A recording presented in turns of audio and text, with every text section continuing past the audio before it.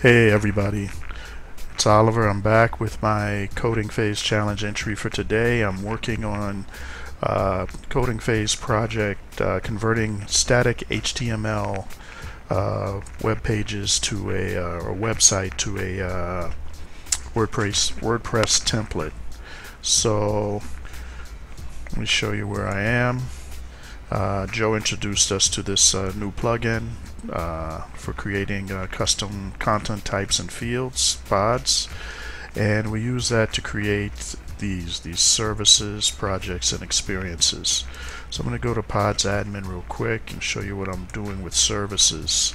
Now I created services uh, um, using this uh, services post and you know I have a um, best value quality code and super fast. I wasn't really happy with the order with how these sorted and that is controlled here right? So my pod service and I'm sorting by name in ascending order and that's where I get best value quality code and super fast. I would prefer uh, quality code super fast to be 1 and 2 and best value to be 3 so the way we do that is I added this icon ID so you know that's one of the things about you know taking these courses. As you see things you want to change jump in and change things modify things.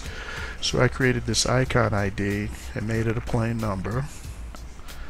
And let's go back and the way you use it is go back here to services. Uh, remember best value I want it to be last.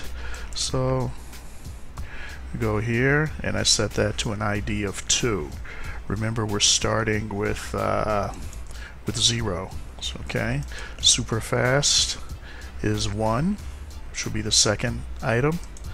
And I want this to display first.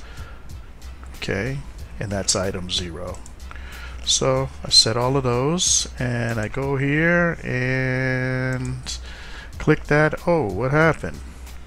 Nothing changed. Why? Because I have to go back in my code and I have to change this to icon ID save that. Then go back and BAM there we go. Quality code, super fast, best value. I think that's better. Anyway, that's my coding uh, challenge entry for today. Thanks, Joe. See y'all later.